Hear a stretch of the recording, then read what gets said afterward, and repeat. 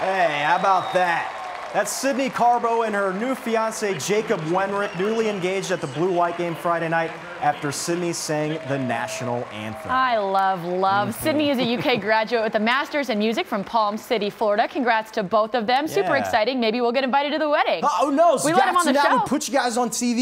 You're welcome. Anyways, congratulations again, you guys. And also thanks to Tom Leach for joining us this evening. We'll see you next time right here on BBN Tonight. Have a great evening.